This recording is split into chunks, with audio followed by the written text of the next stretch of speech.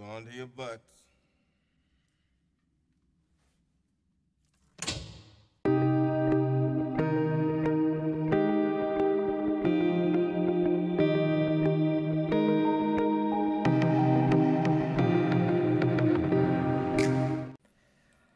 Thanks for joining us today for a debate style discussion that we are affectionately calling Hold On to Your Butts.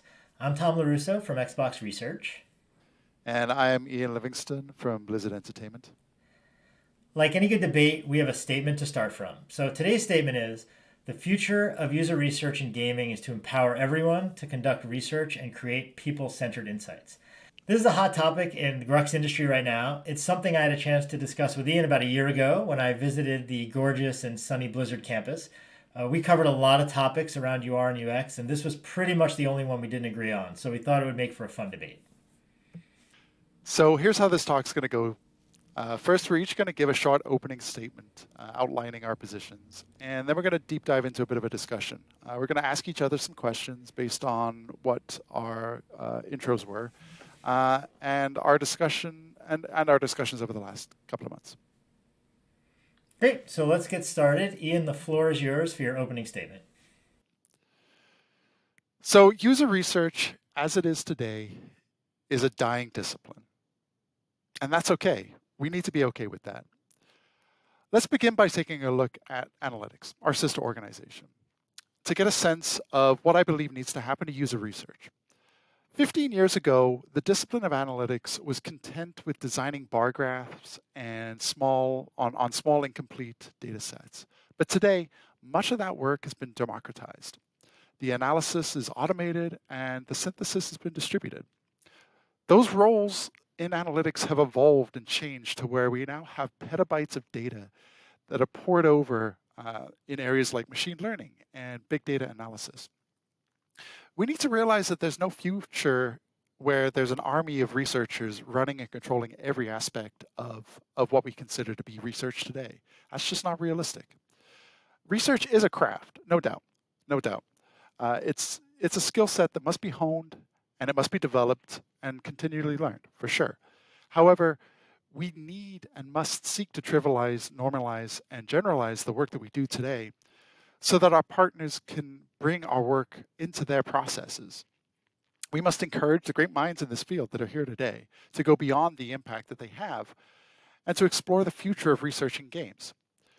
The complexity of games is vast and of tremendous cultural relevance. So I say to all of you, uh, the usability study must become what jump cuts have become to editing accessible and vastly overused. Maybe you feel threatened by the notion of having those who are not trained to do research do research. However, that's kind of the order of things. Calculus was the forefront of mathematics hundreds of years ago, but now it's taught to most high school students in America. Obviously, not every student will understand the complexities, but to assume that they can't smacks of hubris. And thus, we shouldn't try. It's natural that over time we become better at teaching things and that they become more simple. And that is where we find ourselves today. I don't want to be running the same usability study 20 years from now. I learned to do it from a book, I did it, and then eventually I started te- teaching individuals to do the same. Why can't we teach others to do the same?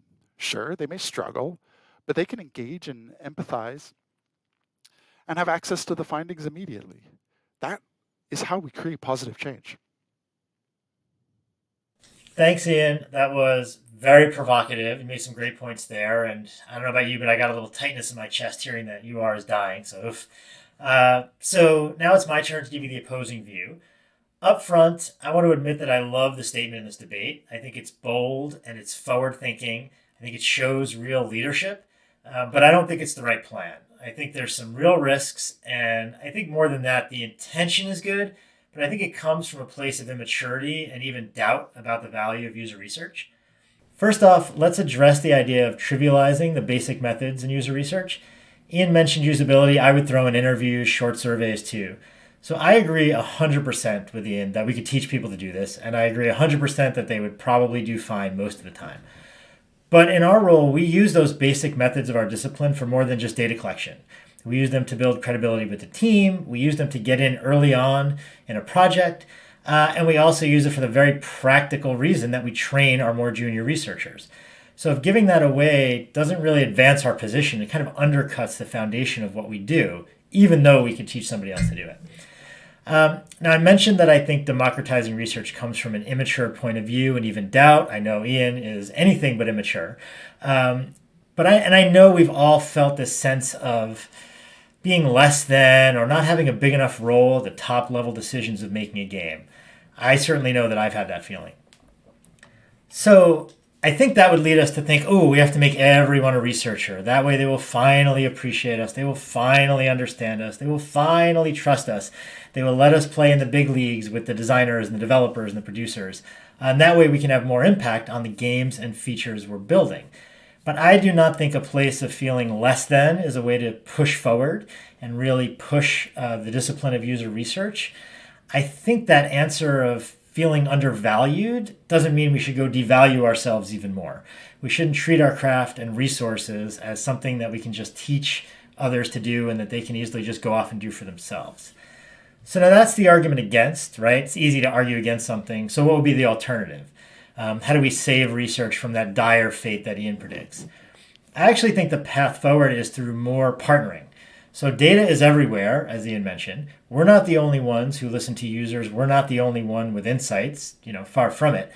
So to me, the answer is not to find the people who don't have data and then go train them how to have data. The answer to me is to partner with the people who have data, the community managers, the quality teams, the marketing, data engineers, anyone who is actively listening to our customers and creating insights to help make your game better. And when I say partner, I mean really partner. I don't mean just show up to a meeting. I mean defining common research questions, creating shared goals and su- success metrics, OKRs, even pooling resources. I think that's really how we scale. And that's how we can make sure user research continues to thrive and grow in the next few decades. So with that, we are going to start our Q&A. All right, Tom, that was good. That was good. Um, very interesting. I, I do have, you know, my, my first question for you. Um, you mentioned that doing these simple things builds credibility uh, with the teams that you work with, and I totally agree with that. That's I would say that's 100% true. Um, do you do you not see a time where that credibility is simply assumed um, that we don't actually need to build it from scratch with the, the folks that we that we work with? Oh, I think that's a great question. I think we have come very far um, in building credibility with our teams, um, but the teams that we work with can be new. We can have new people on the teams. Uh, when we work on titles or entertainment features, right? They can be in new spaces um, where the first thing you do want to go off and do is do user interviews or short surveys or usability studies, like you mentioned. So even if that credibility is assumed, what are we doing during that part of the project? Um, and I think maybe we can also, I know I said credibility, but how about building relationships with the team? How about new PMs showing up or new producers showing up that you actually just have to get into rooms with and show value? All right, so my question to you would be how do we do it? let's say I do agree. I do like that. I love that calculus metaphor, right? And especially jump cuts because I use jump cuts all the time. There's a lot of jump cuts in this video that I edited. Um, but how do you think we do it? How does a user research team train other people to do what we do and still do our job? What does that transition look like? I, you know, I think that that is a really good question, but I, I, I actually don't think it's it's that far off of, of the situation now. I think um, it would and I, I, am speaking for folks who uh, perhaps are, are listening to this who who are you know the the only researcher or the only UX designer who's who's doing research um, on on their project or even at their studio, uh, and I think that they they probably find themselves um, in that situation where they they were already doing this work, where uh, they're roping other folks into into helping out with with a study. They're kind of teaching people how to uh, help moderate or recruit or, or even do some data analysis. Um, I think in order to make that that happen, to be part of the, the process, I think um, it just becomes uh, uh, part of the general uh, training program for, for anybody who uh, becomes an employee at an organization, especially larger ones. Um, I, I, I don't know how it is at at, uh, at Microsoft, but um, there are internal training channels um, available at most organizations, um, and building out uh, a repository of, of you know user research basics, I think would be should be part of any good um, design training that, that takes place. Yeah, no, that makes a lot of sense. I think the idea of having a training program, uh, you know, kind of a basics of, of user research when people come in to join the company is fantastic. But I still don't see how someone's going to monitor it, uh, make sure that people are still going through that training, that when they go out and do the user research and run a usability study and come back, where's the quality control? I mean, we can absolutely teach somebody how to do something once, but two, three years later at a studio, who's going to kind of oversee how it's all going. We know it's kind of easy to kick something off, but what about the maintenance and the quality control of, of a training program like that? I, I kind of view this as, as like the evolution into into like an internal consultancy type uh, exercise where uh, researchers um, have that knowledge and that expertise and can support um, designers who are who are running their their some of their own own work. They can act as a bit of a quality control. They can review um, some of the findings. They can review study designs, things things like that. Um, perhaps even participate in a in a couple of the interviews or or the usability studies to to help uh, get folks just off the ground. Um, I think there's ways that uh, this can become, uh, like I said, a consultancy or or you know a pseudo mentorship type thing, um, where you're engaging in the process, but just more as a as a light touch rather than a a full full on engagement. I'm curious why you feel that expanding the space would be immature or or limit our seats at a leadership table.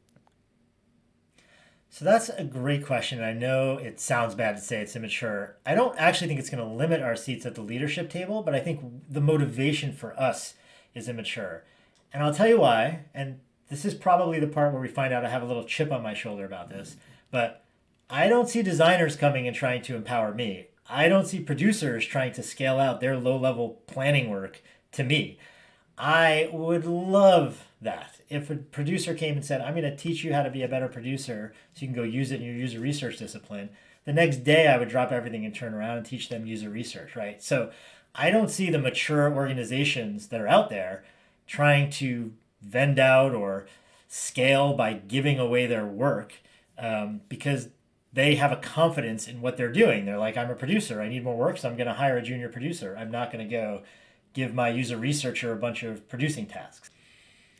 Okay, that's I, I, I can kind of see your point. I, I'm not sure that I I agree with that that sentiment. I to me, um, and I, you know, I, I'm curious what you think about this, but to me, the idea of finding a place where uh, you have the confidence to to say, "Let me show you how to do this," because this is something you you should or could be doing um, yourself. This should be part of your process. I I I don't really want this to sound like kind of a gotcha um, on on on this topic, but uh, I I mean I I participated in in your your GDC uh, like research uh, boot camps, absolutely fantastic, but they weren't necessarily geared to just researchers. They were definitely targeting designers. Um, and you and you're you're telling me that you know you're training. You, you go around and, and, and, and, and teach and train people how to do this, but presumably that isn't wholly for advocacy. There's there's an expectation that in that training there's you know an ability that's being transferred as well. Or am I am I missing? No, absolutely you're right. You can find us, you know, me and a couple other people saying, here is a way to do it yourself. I forget what we call it. I think it was do it yourself or quick and dirty, some bootstrap, something like that. Yeah. Um, absolutely. And I think, yes, part of it is for evangelism. Part of it is gained at, you know, aimed at people that don't have researchers and don't have research in their org. Um, because I do believe we need more people just getting user feedback into their products.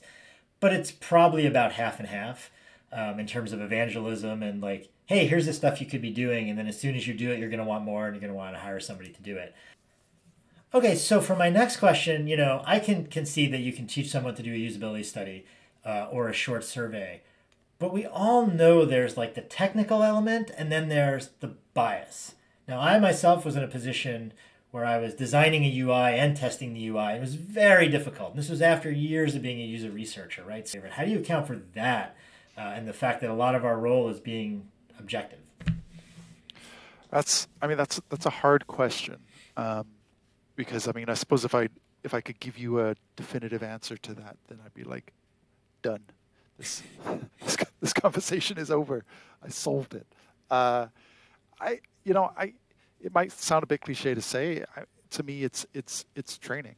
Um, you know, how how do we as researchers manage our own bias? I guess the the main two ways are we argue that we're not necessarily uh, involved with the product, so we we have less bias. Um, we we don't we're not necessarily precious about it, but you know, I'd argue that maybe that isn't necessarily true. A lot of teams have uh, embedded researchers who work closely with with um, you know, designers or programmers or artists every day.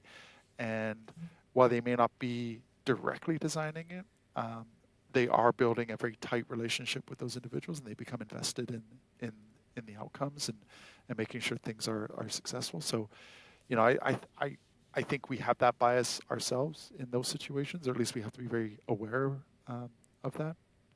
Um, and then, like, like I kind of alluded to at the start of my answer, I think um, the the first step is is teaching people to be aware of it. Um, I do think, you know, training in, in all pieces is is is is necessary for this this approach to even you know even to be entertained properly is is that you have to you have to have people um, learn about their biases, recognize their biases, and, and, and try and manage them.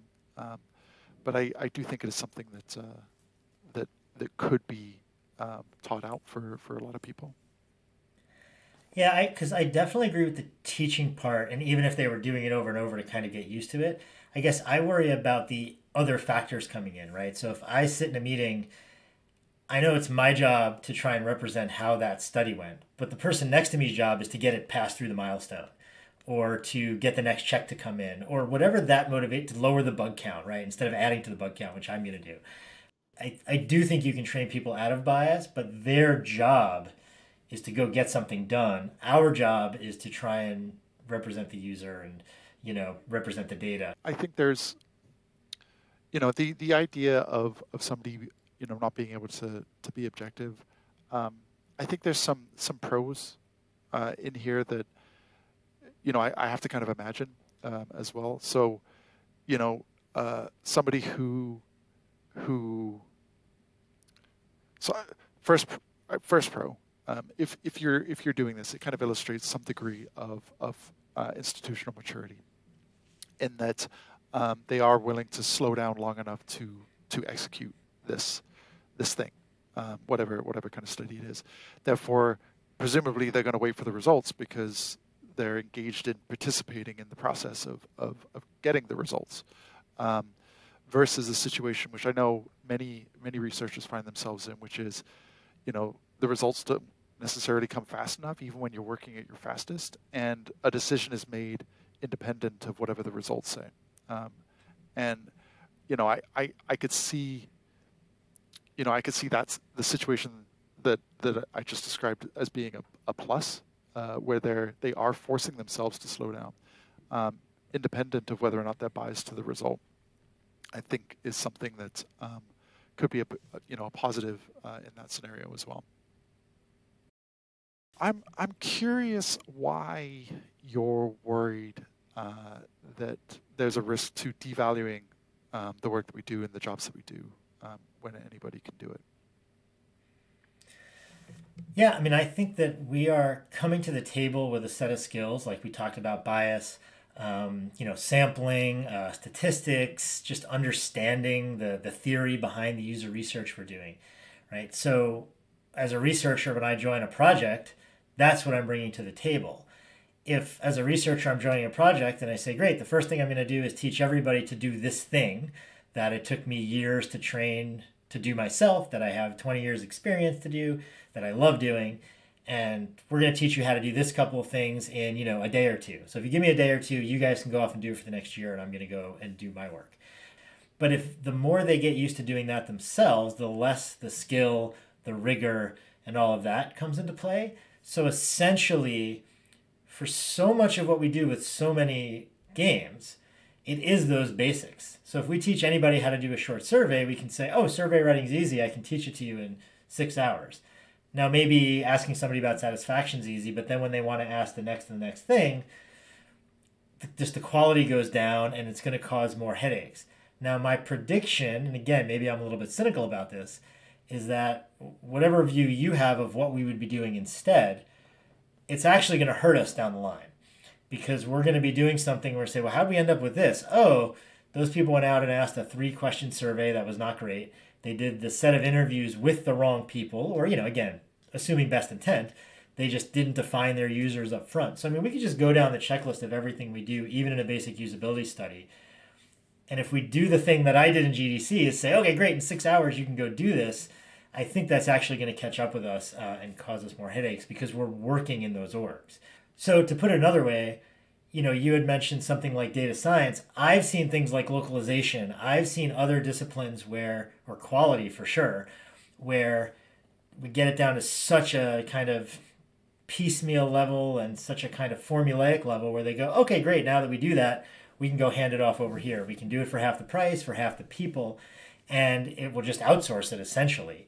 So I worry the more we package it up and tell people we can do things in a couple of hours and anybody can do it, they'll go, well, great, I'll just hire three of you over here to go do that work. Uh, and I don't think that's the way we want research to get done. That's I, you know, I could I I see that that point. I'm I'm not sure if, if I see that ultimate reality. Like I feel like there's there's a degree of of of I mean there is definitely a, hard, a degree of of of, of hard uh, skill associated with it, being able to do uh, good research, and I I suppose. Um, my impression would be that uh, people would recognize the challenge of, of doing it and would recognize uh, as they become more familiar with, with the process that they would they would recognize their own limitations um, and, and and want to call in the experts uh, when they when they need help. Um, I would love I, yes, I would love to think that as well, and that's that's part of the reason why again, I think and I know that I work in a very collaborative way. And certainly at Xbox, we work and bring people along for the ride. And you do see that, right? We do get a lot of emails like, oh, I wrote a survey. I know it's terrible. You guys, the experts, go do it. Um, but that's also because we are doing the surveys for them or doing the usability studies. So I, I would love for that to be true. Um, I don't think there's a lot of great history in any industry about people recognizing their limitations and then going for the experts uh, in a way that we would want to. But you could probably come up with some good examples. I, I, you, you did say something that I thought was kind of interesting. The the, the idea of, um, you know, having somebody who's gone to school for years, uh, you know, somebody with a master's or a PhD, um, and and then bringing them into a, a position as, as a as a junior researcher, um, and then asking those individuals to run usability studies for two three years. Um, do you not see that as as devaluing or demotivating um, for for individuals?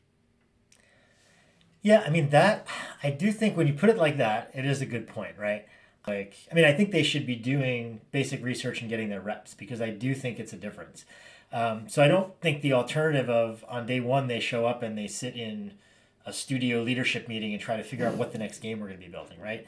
So I do believe, you know, I mentioned in my opening around training not that they have to do 100 usability studies they can come in and do all kinds of different interesting things but the usability study the short survey the user interview lets them get the reps and build the relationships with the team and see how the industry works so it's not so much sitting there and you know running sessions but you have to sit down with the team and say great what are the 50 things you're working on what do you need help with right now oh the five of you don't even agree okay let's go figure that out right because you know there's a lot of politics, there's a lot of communication, there's a lot of soft skills.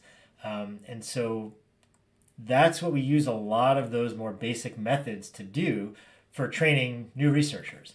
Um, so I know in our conversations, you know, you've talked about the fact that having a big army of researchers just really isn't feasible, right? And so we have to empower others and we have to scale. I see a really great path of growing the amount of researchers and the quality of researchers, the seniority, the position, so I don't know why you kind of see this cliff that we're all going to fall off.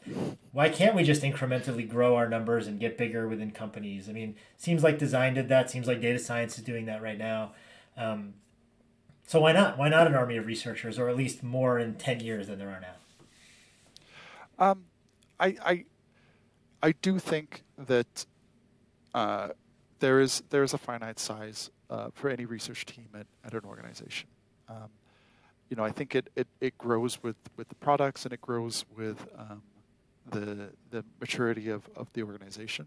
Um, but I I think we I think we can agree that there's you know depending on the on the size of the organization, there's probably a finite size that the, the research team needs to be um, to support it, even if they're doing all of the, the work themselves. Um, but I think the more important piece of, of the question that you asked is, um, you know, kind of around the, the idea of scaling. And I, I, I bring it back to the, the kind of the initial answer that, that um, I feel uh, that, you know, these disciplines grow and evolve over time, right? And, and I, I think there are pieces of what we do uh, every day that are that should be ultimately fundamental to a, a design process. Right? And you know things like usability, uh, I think should be you know a fundamental skill set for a good interactive designer, um, and that you should be able to do some form of, of either structured or guerrilla or um, effective uh, user research as a as a designer, both in games or, or apps or, or web. Um, and I think you know with the rise of, of disciplines like UX design, um, we're seeing those those pieces being baked into uh, the work that they're doing. And in many cases, I think um, those those roles themselves uh, are you know better users of um, the the work that we're doing. They ask better questions, um, and they're able to take people who like like you and I who are professional researchers, uh, and they're able to utilize us better by asking us um, to to deal with the tougher questions uh, that they they recognize they can't deal with themselves. Yeah, I think I think that makes a lot of sense. I really do love your jump cut example because I can't argue with it because I love the fact that you know being a video editor doesn't mean you have to be a video editor now and have a video editing setup and have gone to school. You can just go edit a video, right? And I think you're saying as design evolves, people can make a wireframe, but that's not design's main job. But there's also that view of saying, well, then let's just at least keep it within the research realm, right? Let me be the researcher, and I'll come back to you with a usability study, and I'll, you know, I'll figure out the right way to do it because again, I kind of have that quality control. So within the discipline, you can have levels, and we can do some of the fun things like, uh, you know, remote testing or even vending it out or working with partners who specialize in usability. But at least it kind of comes through us um, because I can't argue with the fact that these things would evolve. Um, but but it could kind of evolve through us instead of giving the chunks away. So I would love to see a world where we are doing more different things and we are evolving and we are giving away the jump cut. But we're not really giving away the jump cut. We're just bringing them jump cuts more efficiently and effectively. Because I can't argue with the evolving part. I don't want user research to look the same way in 20 years that it looks now. And I definitely don't think it looks the same way from 20 years ago. So I think we're just having this debate around the the direction or how we go off and do it. Yeah, yeah. and I, you know, I, I, I feel like what you just said kind of agrees with with my my premise, um, which was, you know, we we, we have to evolve, um, and that we have to make things more accessible. But the things that we need to make um, accessible are, you know, maybe maybe up for debate, or the process in which we we we do it is up for debate. Great. Well, did I did I win? That yeah, I don't know. I don't know if you won, but that might actually be a really good question to end on because we, you know, we kind of agree. We both want to see it evolve. Uh, we both have different thoughts on doing it, but I really appreciate being able to have this back and forth. It's always fun to pick a hot topic in the industry and hash it out and hear different views. I'm sure there's there's there's lots that uh, we could continue to discuss here, and I'm sure uh, once we once we jump into the the Discord channel, there's going to be a bunch of people um, arguing about the things that we said uh, here. So, all right, for everybody who's listening, um, either in the Q and A uh, for this conference or on Twitter, you know, feel free to kind of reach out to us. Um, we're happy to to con- continue this dialogue and this discussion. But uh, with that, I will say goodbye and thank you all for listening and enjoy the rest of the conference. Thank you. Take care, guys.